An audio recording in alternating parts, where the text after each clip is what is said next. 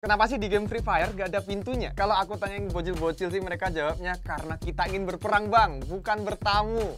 Masuk akal juga sih. Tapi ada alasan lain sih kenapa game Free Fire gak ada pintunya. Yang pertama karena bikin pintu di game itu sulit banget. Bahkan developer gede sekelas Naughty Dog aja bilang kalau bikin pintu itu paling susah dan makan waktu lama banget. Soalnya developer harus bikin animasi buka pintu yang banyak. Mulai dari gerakan buka pintu doang sampai karakternya ngedobrak, didorong, kesenggol sama NPC dan kemungkinan-kemungkinan lain. Yang pastinya nggak cukup kalau satu macam aja. Belum lagi kalau ternyata pintunya kekunci. Wah, gimana pusingnya tuh developer. Terus nih ternyata animasi pintu ini berat banget dan nggak ramah sama HP kentang. Mungkin ini nih yang bikin Garena nggak nyediain pintu di FF karena sadar kalau playernya ya kebanyakan main di HP kentang.